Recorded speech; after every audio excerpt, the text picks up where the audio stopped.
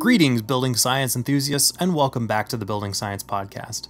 Today's episode is brought to you by Aprilaire, the trusted leader in indoor quality solutions. Through their understanding of consumer needs for indoor air quality and HVAC channel expertise, they help home builders leverage the full value and benefits of healthy home solutions. Aprilaire has a full line of IAQ solutions that meet or exceed current and projected requirements for Energy Star certified homes and IECC. We've incorporated Aprilaire products into our designs for years because they provide real value for engineered systems. For their full product line, check out aprilaire.com backslash BSP. That's air with an E. The first step towards a healthier home is at aprilaire.com backslash BSP. Now sit back, relax, and enjoy the rest of the episode. Welcome to this. Uh, okay. Oh, welcome to the Building Science to the Building Science Podcast. Podcast. Welcome to the Building Science Podcast.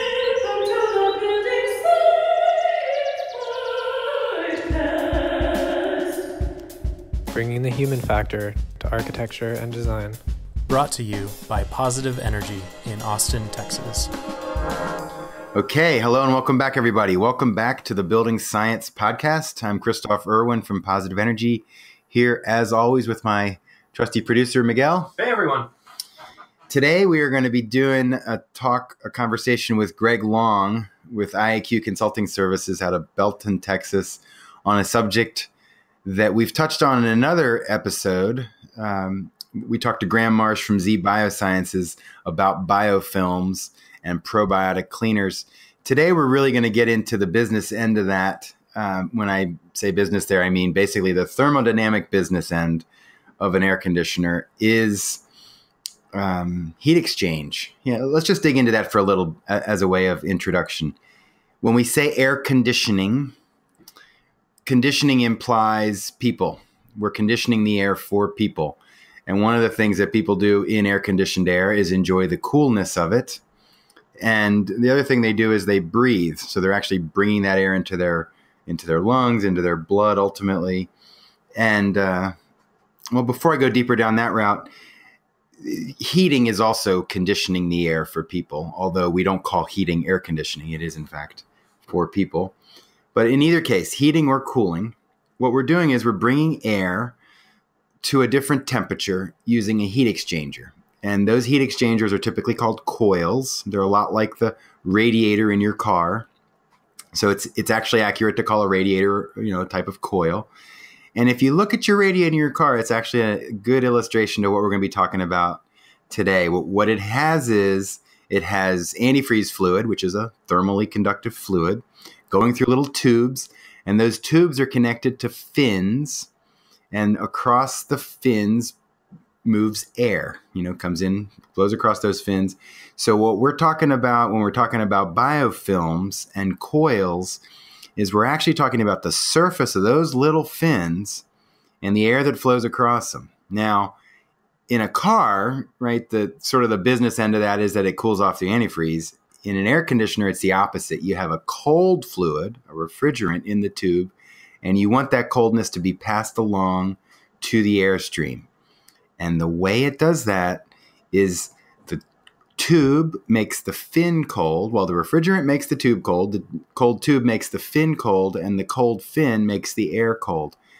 What happens when you make air cold is the water that's in it condenses out. So these fins, when you're in cooling mode, they are wet. So you have wet fins with the indoor air blowing across them, and that's where the fun begins. So we'll be, we'll go ahead and introduce Greg now. Greg, are you on the line? I am. Okay, so I, I told folks that you were from IAQ Consulting Services out of Belton, Texas area. Would you like to give us a little bit uh, fuller introduction to who you are and what you do? Okay. Please. Thank you, Kristof, and thanks for having me on the show. It's a pleasure to be here with you. Yeah, Uh, thank you for being here. I started in the HVAC cleaning and restoration business in 1973. Hmm. Been, been involved in it uh, extensively ever since. Um, we started realizing probably back in the very early 90s that uh, cleaning coils was paramount in improving unit efficiency and making a unit work the way it's supposed to, to work. And we started putting a lot of time and research into better ways to clean coils, keep them clean, and maintain them. And I've been very involved in the industry. I've served two terms on the board of directors of the National Air Duct Cleaners Association, served two terms as its president.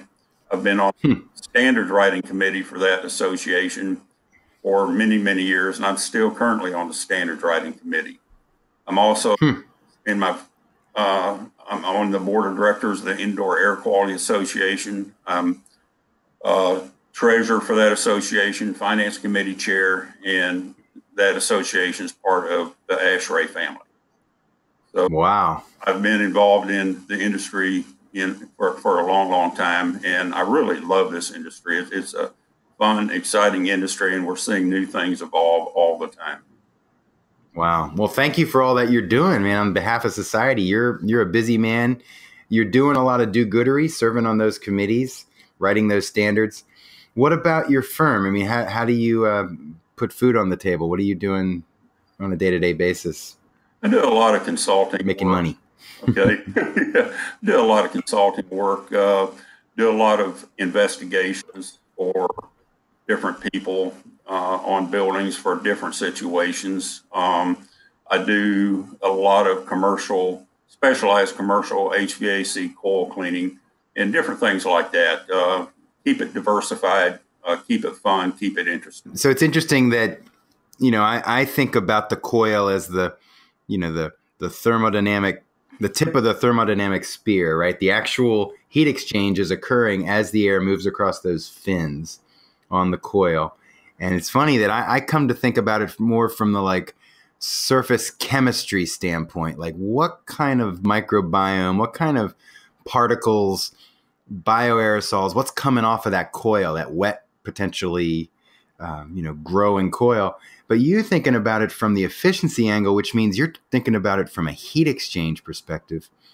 So let's just start at the beginning. So biofilms, which we covered in the other episode, and I know you had a chance to listen to that, was biofilms. We define them as this sort of this mesh, this growing mesh layer that coats these fins.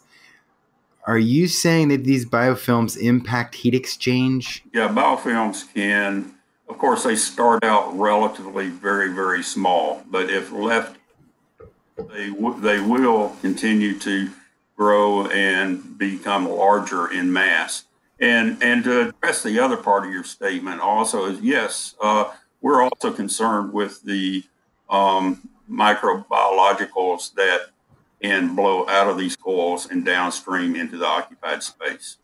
Mm-hmm. Yeah, I figured you were because you were on the IAQA board, and that's uh, air quality. It's uh, not necessarily just about efficiency. That's true. So they start thin. They, these films start thin and they grow and they do impact heat exchange. How do we know they impact heat exchange? Are there studies, or do you have anecdotal data or crunchy data to show that they do that? Yeah, there, there have been different studies showing that uh, different thicknesses of buildup on coil fins and how they impact the um, heat exchange of the device. And there's several of those that are available out there for people to go look at. But uh, Obviously, the thicker the buildup on the coil fins and coil tubes, the more impact it has. And it's amazing, you know, how quickly it starts hmm. allowing the efficiency of the system to ramp down.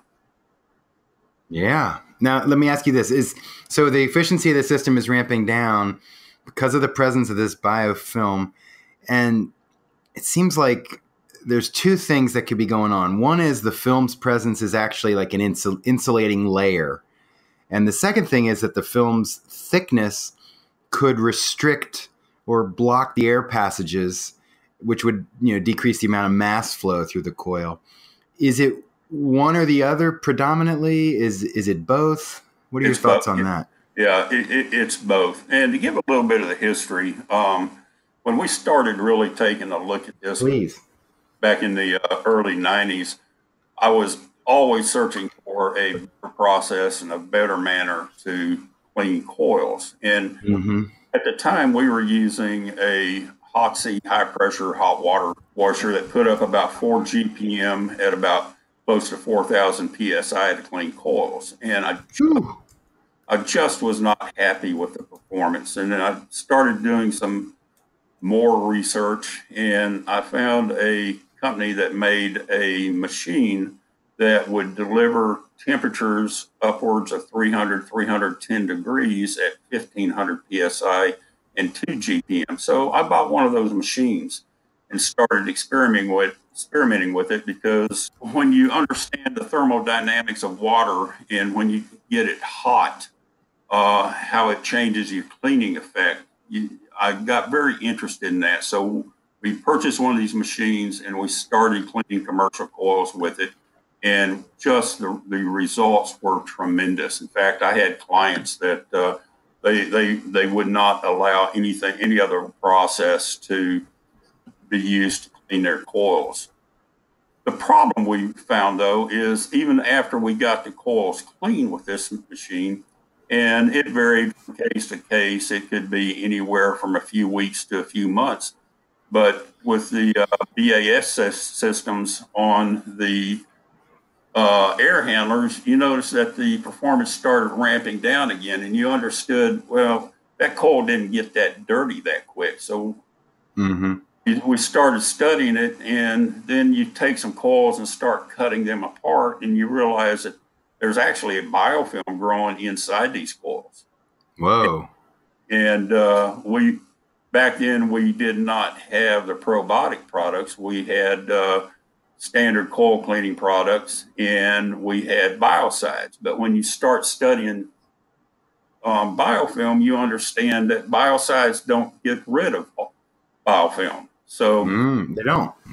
No, so we we you know we knew we had a problem, and until oh six years ago or so, when I ran into Graham's company, did and asked them to develop a coil cleaner for us, did we have a solution to the biofilm? Fascinating. So you're telling me that you're saying that the that there were biofilms inside the coils. Are you saying there that these coils have multiple uh, rows or multiple layers of uh, coils and heat exchangers, and that the inner layers weren't getting as clean? That there were, it was obvious that there was a biofilm there. Is that what you're saying? That, that, that's that's true, and you you can take the uh, cut the coil apart. You can see where you've removed the dirt and the gross debris out, which it, you know it improves its performance and airflow. But you you still have um, a, a attached layer of biofilm in there. What's it And- look like? What's that mean? That you had an attached layer? Is it like a slimy black thing? Is it white and Well, fluffy? I- what is it?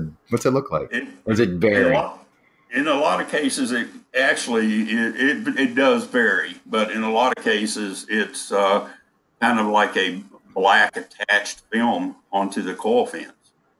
And Like like a black paint. yeah, yeah.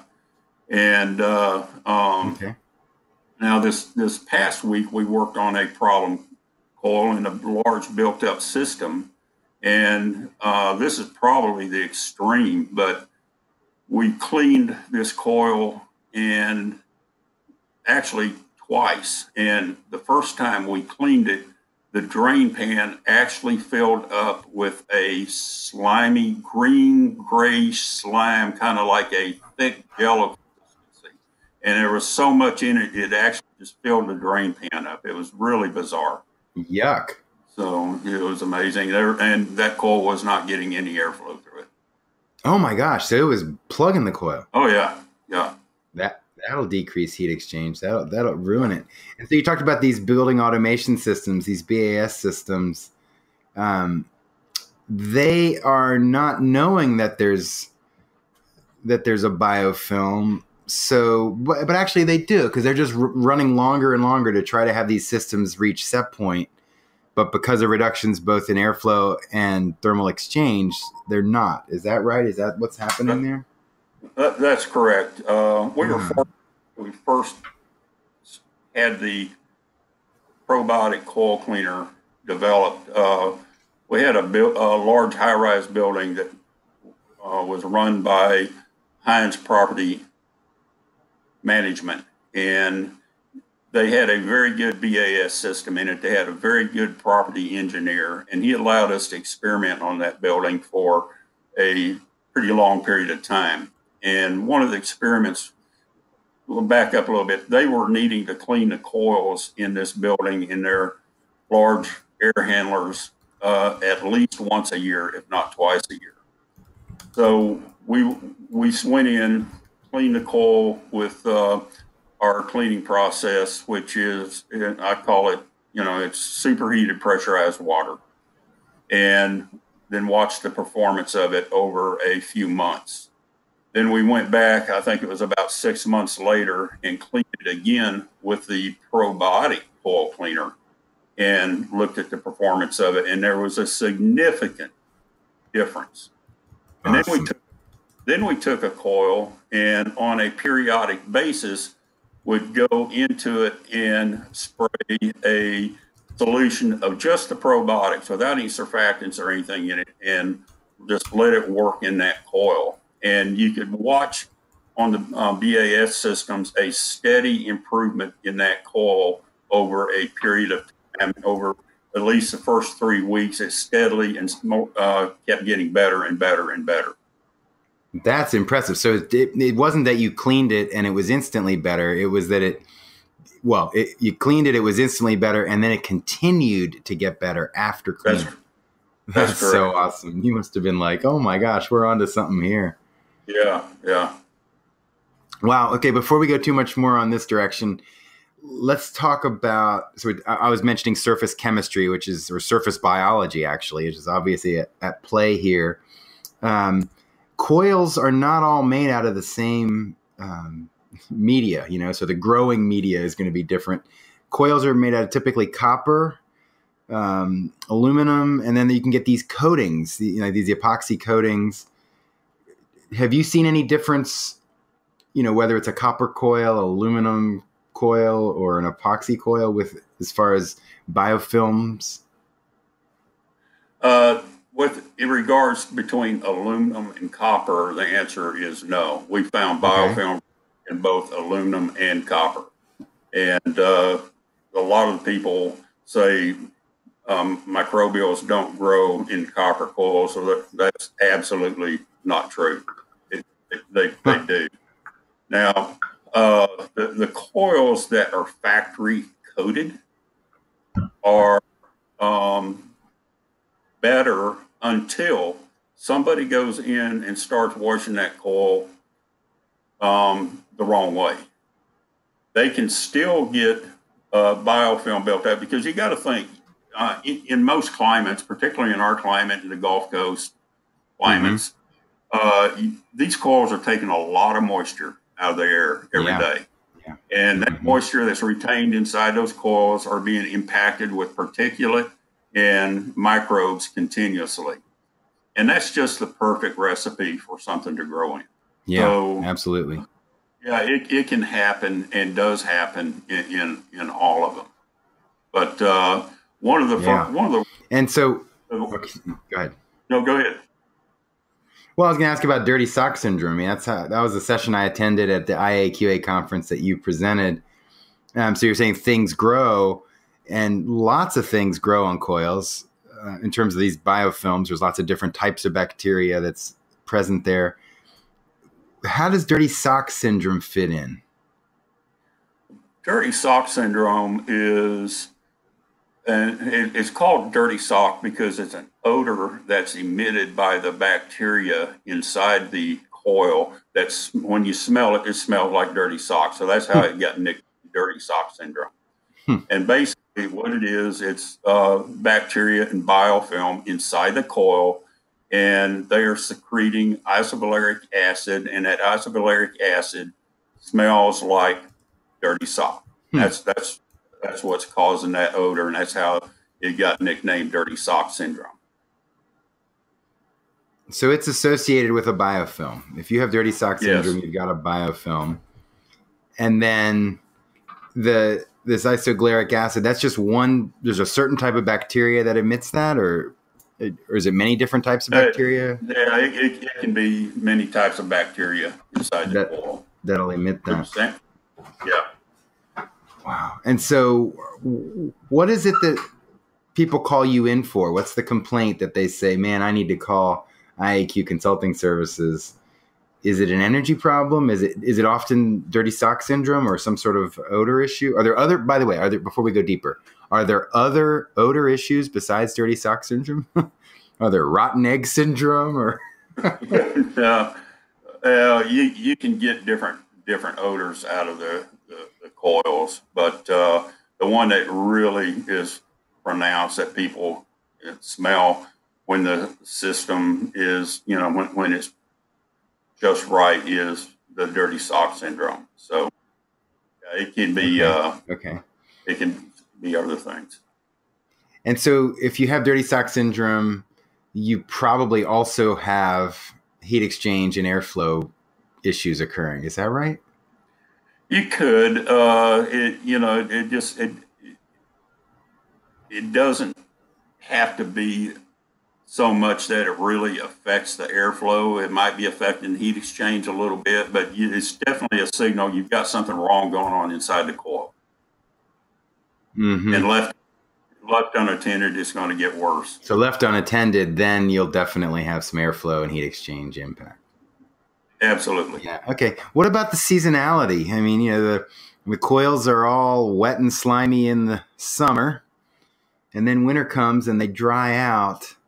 Um, it's actually kind of disturbing to think about it, but I guess what would happen is the some of that biofilm would desiccate and probably become friable, or you know, break up into particles and get moved back into the conditioned air, right into the airstream. Is, is that right, or what? What happens uh, in the winter? Yeah, that that's that frequently happens, and uh, a lot of times we'll get a call that um, our people are complaining about stuff blowing out on their desk or out on a conference table or something, mm. and you, you, go look at it, and it's these little tiny balls that's tumbled down through the duct system. You, you touch them and they smudge, and that's just actually dried um, stuff coming out of the coil that's dried up in the heating season. Wow. Are, it, could you describe the color of that, or is it a variety, or what do you usually? It, it looks like soot. It's usually darker. Yeah, kind of like soot. Mm-hmm. Mm-hmm. Wow. Okay, so that's that's a pretty good exposition of the fact that um, there's a problem, and that it's a thermodynamic problem. It's an indoor air quality problem, and that it's actually quite uh, I don't know what's the right word, intimate with the occupants, meaning they're breathing this stuff potentially. Um, so what do we do about it? And you've talked about you had these high pressure, high temperature cleaning systems, but it was really these um, probiotic cleaners that you have found to be very effective. How do you go about cleaning a coil with a probiotic cleaner? Well, let's start a little bit before that, please, Kristof. Uh, the uh, 99% of the people out there have never been taught the proper procedure or chemistry to clean a coil. Just about all your coil cleaners out there on the market are a high pH of 11 to 14. Very, very caustic. And the, these cleaners, you know, they, they say uh, they, they, they foam it up and everything. They make the coils look bright. Yeah, they're making the coils look bright because they're damaging the coil. They're taking aluminum away. And when you use a, a high pH coil cleaner, um, it brightens the coil up, but actually what it's doing is damaging the coil inside. It's creating inside on the aluminum surface. And even though it looks good after it's clean, you're leaving a damaged surface that allows the coil to foul much quicker. And the reason it does, these pits hold and retain the water instead of allowing the water to roll off properly. And then with that water held in there, then that water's collecting particulate and biologicals, and then you get the rapid regrowth in there and build up in there, and your performance falls off. So proper coil cleaning procedure is important. Proper chemistry is important. Mm-hmm. The way the way most guys are cleaning coils out there, they're actually impacting the.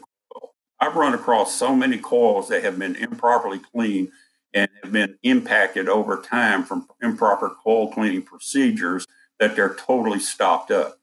And uh, it, it's a shame because they have never been taught the proper coil cleaning procedure. Yeah, they're working hard. They're being disciplined.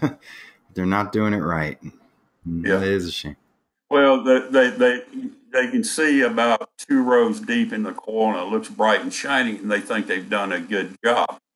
Which, in fact, what they're doing, they're impacting. Yeah, the they're impact and impacting the water shedding characteristics of an, o- a coil. That's that's a big problem. Yeah, yeah, they're impacting that, and they're impacting the center of the coil with dirt that never gets washed out. It just starts stacking on top of itself in there and gets thicker and thicker, and uh, uh, blocks the coil up on the inside. And you've measured this. You've seen like static pressures that are really high, and after measurement, or after uh, cleaning with. Yeah, Right. fascinating. Right. I did a coil not too long ago in Houston. That that that situation had happened on, and when we got through with it, we increased, um, and we only worked on it for about five hours, and we increased the airflow through it by 116 percent. Whoa, wait a minute. So you doubled it and then some? I bet people notice that. They did. They did. Wow. Yeah, they were getting cool air where they hadn't had cool air in a long time. I mean, so just listeners, just so you can follow. I mean, when it is air conditioning, moving this heated and cooled air around the building, that's what it's all about, right? That's how we provide comfort. Is is all about airflow, airflow, airflow, airflow. Um, so when you're impacting that, it's it's deep impact. All right, so you're not using a high pH cleaner. You're not um, damaging the coil when you use these probiotic cleaners. How do you apply them? Well, it depends upon the size of the coil. For large commercial coils, what we're using is an airless sprayer.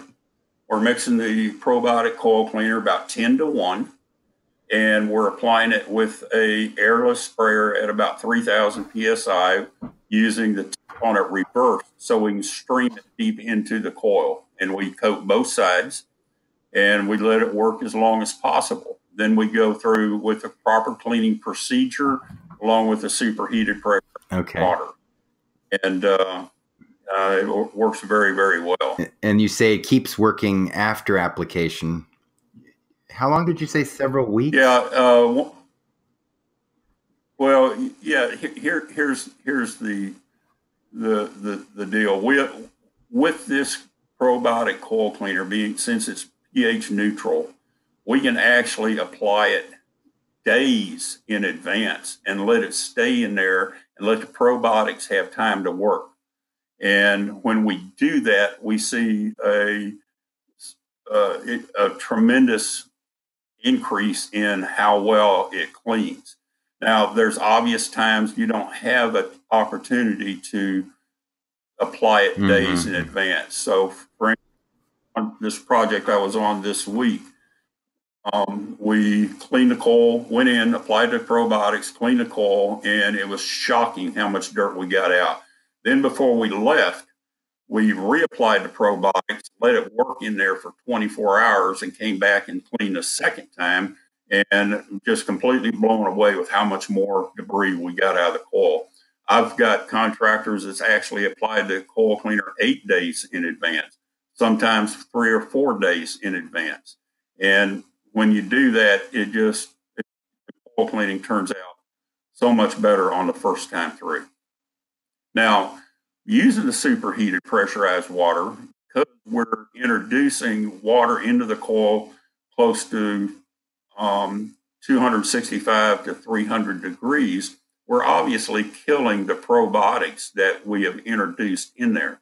So after we have cleaned, then we go back and sp- spray another product that's just strictly probiotics and uh, allow it to allow those probiotics to continue to work inside the coil. The biofilm will reemerge potentially, right? At some point, correct? Yeah, the bio, biofilm will always reemerge unless you do Mhm. something to prevent it. That's we've had. Uh, we're we've got a client that, in fact, uh, the client that let us experiment. What they did is they set up an automated spray system that would spray these coils with the probiotic twice a week or I forget, I think it was like five minute intervals twice a week to keep probiotics introduced into those coils. And after that was done, after they were cleaned and that was done, those coils that had to be cleaned once or twice a year. Four years later, when that mechanical engineer retired, still did Wow. not need to be cleaned. So once or twice a year, that's that's not too big a deal. And so once or twice a year, somebody would climb in. I mean, these are big coils. I assume some of these are commercial coils. So they're or they're so they're using a sprayer somehow once or twice a year, um, and that's how you do it. There's no way to automate it or to. No, no, no, no. That's what I said. They, they allowed us to install an automated Ah, okay. system that would uh, fog those coils twice, a week. Week, okay, I Like five or- misunderstood. Not twice a year. Yeah, yeah, yeah, yeah. And yeah, no, they they previously the coils had to be cleaned once or twice a year, but after we installed the automated spray system, they there, there there was a period of four years that they didn't I need see. to be Okay, I totally had that upside down. So the automated spray system is going a couple times a week, um, and then you avoid. I'm just thinking about the economics of the situation. I guess ultimately, into, because there's so many layered impacts, right? There's heat exchange, there's comfort, there's energy use, um, durability of the coils. Does that m- more than outweigh the cost of installing this automated application system? Oh, ab- absolutely. The return on investment is very good. So if you defer having to clean the coil twice, three times, you've paid for the cost of the manifold delivery system, or is it one time? Yeah, it, it, it actually depends upon the size of That's the system. and uh, you know, uh, larger systems require larger uh, engineered spray systems. Uh, we we got some clients that just actually put it in a ULV fogger and send somebody in once a week or once every two week and just fog it, and you you know you leave that running so that the air handler can pro, pull the probiotics through the coil. Do you know if anyone's ever tried this in a residential context? Maybe a, like a manifold delivery system for probiotic coil cleaning? No, I don't. I don't think that's been done yet. I don't yet. think so either. Residential coils are relatively thin. So you can clean them a little more readily. But still, if you have these high pH, you know, Yeah. coil damaging caustic caustic pH levels, that's not a good thing. I mean, I've seen coils foamed all the time, and I, I was going to comment on some of the foils, I, foils, coils I've seen uh, over the years, residential coils. Um, man, they can get just very, very nasty looking. I mean, we used to have one here at our office that we would show people, and It looked like someone threw up on it. yeah, exactly. I was trying to think of the yeah, yeah, it was just so nasty. We eventually got rid of it because it's like this is almost like fear mongering, or this is just so over the top nasty. No one's gonna actually believe that this is what the coil looked like when we took it out of this house. Yeah. Well, uh, one of the problems with residential is depends upon where the system is, how it's installed. A lot of residential systems are not well installed, and the the the returns are not truly direct connected to the Right. occupied space. Now, for instance, in my house, my return is directly connected to my occupied space. So what I do, I use a high quality filter. I put the uh, it, my filter grill so large it actually takes two filters. So I put the filters in, and then I take tape, uh, masking tape, and tape the edges of the filters to the filter Mhm. frame, so that I'm all the air through Yeah, the no filter. coil, no filter And, uh, bypass. You reduce filter bypass. no filter, no, no filter bypass. And uh, my evaporator coil developed a leak after it was in five years and uh, had to have it replaced. And when they pulled it down out of the attic, I was here and I looked at it, and it was shocking how clean that filter was for being five years old because I force all the air through a high quality filter.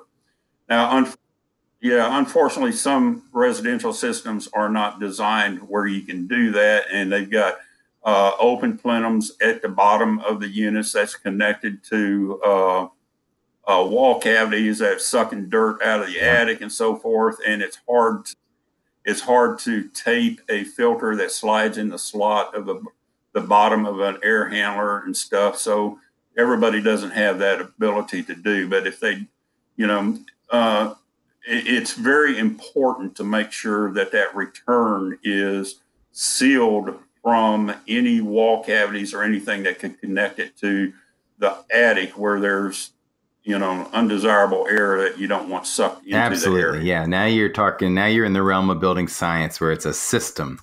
If you want clean, clean, clean, healthy Yes. air, it's not like, well, let me have the clean, healthy air filter or the clean, healthy air air handler. It's like the, the whole system, start to finish. Okay, so back to your house, Greg. So you you had a clean coil after five years. So not all coils develop biofilm growth. Is that right? No, no, not all coils. Now, yet I know of many times over the years that there have been homes that have dirty sock syndrome. So some coils in homes do develop biofilm growth. Absolutely. Yeah, and so it's interesting, and and it's not like oh, well, if I don't have my air doesn't smell like dirty socks, therefore I don't have a biofilm, because one type of the biofilm bacteria emits this isovaleric acid and causes the odor. It's not right. So it's interesting. It's it's, it's almost like uh, you don't know. Yeah, that's true. You, you you can't always smell it, and I I, I contribute a lot of uh, the success of mine to the fact that I do have a positive connection of the return to the Mhm, occupied mhm. space, and I do take Don't I don't Yeah, have filter Yeah, bypass. that's so important. And in addition, I, I tape all the access panels on my air handler so that you know nothing leaks around them and so forth. So I, I'm, I make sure that the air passing through is coming directly from the occupied space where it's passing through a very good quality filter. Well, I see in a lot of these homes where they do install uh, very expensive, high efficiency four inch filter systems, but when you sit there and look at them, they're they're they fit sloppy in the housing, uh, and there's not they don't fit tightly to prevent exactly air right. bypass. Mhm. Closet upflow systems. It's often nigh on impossible to get a good seal between the air handler chassis and the supply plenum or the return plenum at the back of that closet. Attic, attic systems sometimes are tucked over, you know, close to where the roof and the attic floor are. So how the heck can the installer get behind, you know, the system to seal that chassis plenum connection? You know, there's just so many layers of, and frankly, one of the one of the issues in, is that um, installing contractors should complain. They, they should call, you know, they should call a spade a spade and say, I don't have proper access to do a good quality installation here. I don't know. Somehow it's like the culture of the industry is I'll just do the best I can in the circumstances and not mention any issues. Keep going. wow. So we've covered a lot of ground, Greg. We went through what's causing the growth of these films, what the films do, how you clean them. How about epoxy coatings and those foaming cleaners that you mentioned? I mean, this is off the subject of sort of probiotic film uh, coil cleaning, but when you foam it, foam up a coil, if it's an epoxy coil, how does that work? Does it dissolve the epoxy coating or? One of the things I've seen frequently is the guys using the high pH coil cleaners don't really understand the importance of rinsing all that residue out of the coil because that high pH Ah, residue will remain in there. And if you've got a biofilm or particulates lodged in the depths of that coil, and and they uh, the high pH coil cleaner um, clings in there, holding onto that stuff. If it's not thoroughly thoroughly rinsed, then you've got that high pH coil cleaner in there slowly over time doing damage to to the coil and we've seen that many times and, and this is this is the damage that caused it to causes like pitted or the surface damage on the coil. Can it damage the coil so much to cause a refrigerant leak? uh, probably could um, i've actually you know i've seen lots of lots of cases where it's uh, actually damaged the frame around the coil and uh, but yeah it's it you know if it could it could possibly if the uh, particularly if you've got uh, thin aluminum tubes uh, could damage them over a period of time also Yeah. Wow. And then the probiotic cleaners. Um, you know, let's say so I let's say I have I have an air conditioner at my home. So I do have an air conditioner at my home. I and hope so. my coil has never been cleaned. You know, knock on wood here. I haven't had any problems. Now I have looked at my supply plenum and I've got mold in there and it's it's not a pleasant sight. Um, but my coil hasn't been cleaned. So if I ever do clean it, now that I've met you and talked to you, I sure as heck am not going to use a high pH coil cleaner. Could I use a probiotic cleaner? I could tell my installer, spray that in there, wait a few hours. And how does that work? And he rinses it or it doesn't even need to rinse it? How does that work? Yeah, it, Or she, I should say. hmm right. Uh, yeah, if it's been a few years since it's been cleaned, it, yeah, it needs to have dwell time to work, and then it needs to be thoroughly uh, rinsed out to get all the particulate and everything out of the coil. hmm So you're saying that we pull the coil out of the air handler, take it outside and do this treatment, or it's happening in the air handler? I've done it both ways. It's always better if you can get the air, uh, coil out of the air handler. I like to get them outside, take the pan off of them, take the top plate off of them, and that way I can get everything cleaned real well. Sometimes it's not feasible to get them outside, then we'll clean them in place, but always prefer to take them outside if possible. Well, it did sound. There was that one application you mentioned with the manifold application system, so that was definitely not being taken out. It was just happening biweekly. There was a spray application of this probiotic cleaner, correct? That's correct. Yeah. So it seems like you get a new house, you got a new clean coil. If there was some way just to a couple times a week or maybe even once a week to have a like a mist or a fog of a probiotic moving through that coil from the return, seems like that could work. What do you think? I mean, we're speculating, I know, but No, it absolutely would work. I think there's a product out here now. We should we should talk offline after this. So let me let me summarize. I mean, basically, uh, we talked about the coil is the the thermodynamic business end of heating and cooling and indoor air quality.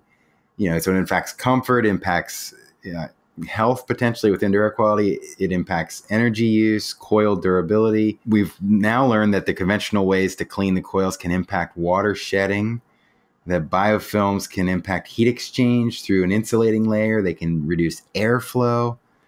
Um, these biofilms can release, you know, bioaerosols, which are particles. They can release odors. It's wild. There's so much to know, and this is the first time I've heard of it was talking to you. I really appreciate you sharing that with us. Is there anything that we've missed? Any topics that you're thinking, oh, he should have asked me about that? I, I don't think so. I think we pretty much hit the top of all of them. I think we, we got it covered, I think I think we did too. Well, then, thank you so much for taking the time to talk with us today, and uh, good luck in all you're doing. Keep up the good work out there. Thank you, Greg, Thank you. I appreciate it, Kristof. Thanks for the invite. and thank you all for listening. We'll talk at you next time. This episode is brought to you by the Humid Climate Conference. Back in 2015, the Austin chapter of Passive House Alliance US was thinking about how to get more attention to the PHIUS Plus 2015 standard in humid climates. And so the thought emerged what if we put on a conference? I'm proud to tell you that this is an unmissable conference.